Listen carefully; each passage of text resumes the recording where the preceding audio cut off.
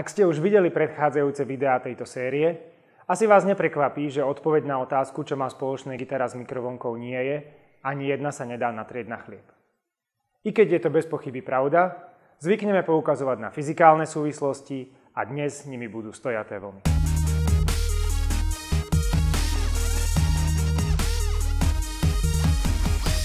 Začníme gitarou. Keď brnkneme po gitarovej strune, zaznie zvuk. Možno viete, že tento zvuk nepochádza zo struny, ale z tela gitary. To však pre nás nebude podstatné. Dôležité je, že za zvukom, ktorý počujeme, je kmitanie struny. Ako to celé funguje? Pri brnknutí strunu posunieme. Tá sa pružnosťou vráti do rovnovážnej polohy, cez ktorú prejde s otrvačnosťou a vychýli sa na opačnú stranu. Potom sa vráti naspäť a toto kmitanie sa opakuje. Trochu je to podobné hojdaniu na hojdačke. Čas takéhoto kmitu závisí od toho, z akého je struna materiálu, akou silou je napnutá a aká je dlhá. Kmity s kratším časom majú vyššiu frekvenciu a vyššiu frekvenciu má potom aj zvuk, ktorý počujeme. Keď zahráme ten istý tón na dvoch rôznych nástrojoch, napríklad na gitare a ukulele, veľmi dobre vo zvuku počujeme rozdiel. To preto, že tón má okrem svojej výšky aj čosi, čomu hovoríme farba. A farba má svoj pôvod v tom, že struna môže kmitať aj komplikovanejšie. Vtedy vzniká na strune niekoľko častí, v ktorých struna kmitá. Týchto častí môže byť ľubovoľne veľa a frekvencia kmitania je oproti frekvencii základných kmitov toľkokrát väčšia, koľko kmitajúcich častí sa na strune nachádza. A hovoríme im vyššie harmonické frekvencie.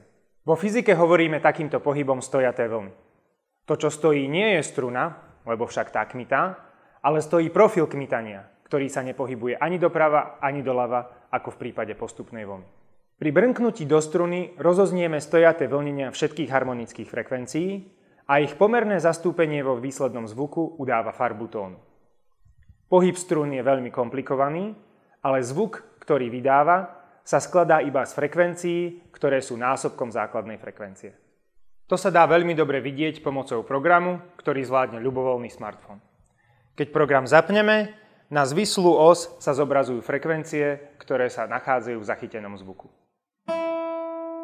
Pri zvuku gitarovej struny jasne vidíme základnú aj všetky vyššie harmonické frekvencie. Môžeme dokonca zahrať aj tón o oktávu vyšší, ktorý vydáva struna polovičnej dĺžky a vidíme, že tento zvuk obsahuje iba polovicu z pôvodných frekvencií. A keď porovnáme rovnaké tóny zahrané na dvoch rôznych nástrojoch, vidíme, že vo zvuku sú zastúpené tie isté frekvencie, ale ich relatívna intenzita je rôzna. Preto gitara nie je ukulela. A teraz príde na rad mikrovlnka. Aj v nej čo si stoja to kmitá, ale na ukážku ju to pre vás nemám.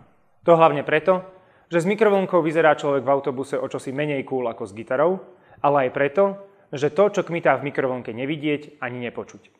Keď mikrovlnku zapneme, vznikne v nej stojatá vlna elektromagnetického žiarenia.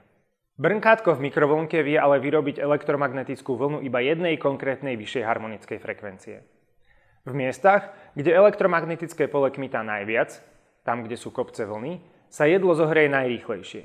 V miestach, kde pole nekmitá vôbec, sa s jedlom nedeje vôbec nič. Preto sú v mikrovlnkách otočné taniere, ktoré zabezpečia, aby sa v miestach bez kmitania nenachádzal stále ten istý kus zmrazeného chleba.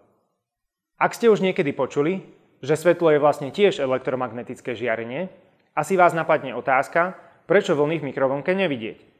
Odpovedou je, že očami vieme zachytiť žiarenie iba istých konkrétnych frekvencií. A vlnenie v mikrovlnke má od týchto frekvencií veľmi ďaleko. Keďže so zvukom je to podobné, mikrovlnka má vlastne bližšie k píšťalke pre psov ako ku gitare. Ale s píšťalkou človek v autobuse tiež veľa vody nenamúti. Na odber videí ste už určite všetci prihlásení, a určite už aj všetci viete, kde sa o stojatých vlnách dočítate viac. A tam nájdete aj dnešnú domácu úlohu. V ďalšom videu si povieme, ako mikrovlnky ohrievajú jedlo a ako sa z toho všeličo dá zistiť.